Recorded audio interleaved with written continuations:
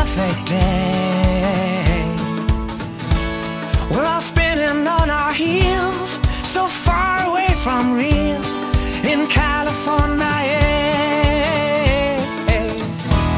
We watch the sunset from our car.